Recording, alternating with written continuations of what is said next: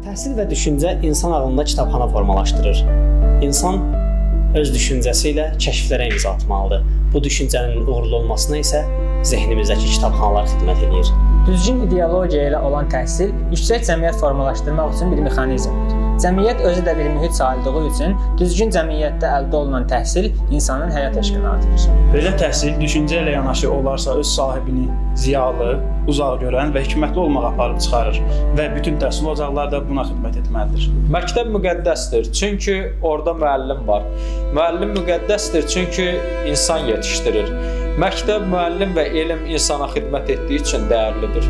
İnsanlığa xidmət etməyən məktəb daşdan hazırlanmış quru dörd divardır. Elm və vicdanı ilə xidmət etməyən müəllim isə cəmiyyətdə artıq və lazımsız yükdən başqa bir şey deyildir. Maddi və mənəvi problemlər sağlam təhsil və düşüncə formalaşdırmaq üçün böyük maneədir. Bu problemlər öyrəncilərin yaradıcılıq istedadını aradan aparır.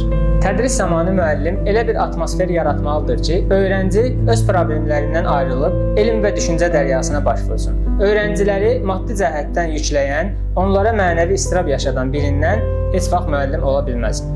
Öyrəncilər dərsə gəlməyəndə onlara qayıb yazmaq müəllimlik deyil. Bunu hamı bacarar. Müəllim öyrəncini təhsilə şövqləndirən, onların könlündə elmə cazibə yaratmaq üçün səfərbər olan şəxsdir. Valideynlər müəllimlərin yardımçılarıdır.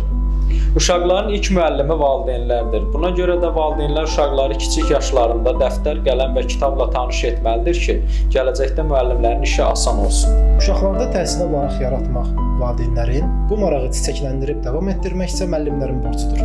Düzgün təhsil olmayan, düşüncəsiz, ideologiyasız cəmiyyət istismarçılığın qurbanı olmağa məhkumdur.